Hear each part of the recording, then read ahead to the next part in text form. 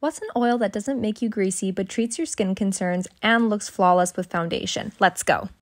My skin is extremely sensitive and I'm prone to small breakouts around my mouth and jawline. I also have some redness, acne scars, and my skin is uneven in most areas. It can also be textured, making my foundation not blend very well. I use the Enerex Radiance oil as it's a combo of black seed oil, sea buckthorn oil, and cranberry seed oil. The blend of the three is super lightweight and absorbs quickly like a moisturizer. You'll notice my hand is gently hydrated and not super oily and shiny. I add two drops of Radiance oil to my foundation as it gives it a nice glowy finish and makes my foundation feel more silky. It buffs beautifully into my skin and warms it right up. It's also another way to make sure my skin is still getting the skincare benefits it needs throughout the day. It absorbs almost instantly, but still leaves a gentle candlelit glow to my skin. Blackseed oil is rich in vitamin B3 and can improve your skin tone and texture by replenishing the skin biome. Sea buckthorn is great even for oily skin types prone to acne because it signals the oil glands to stop creating excess sebum.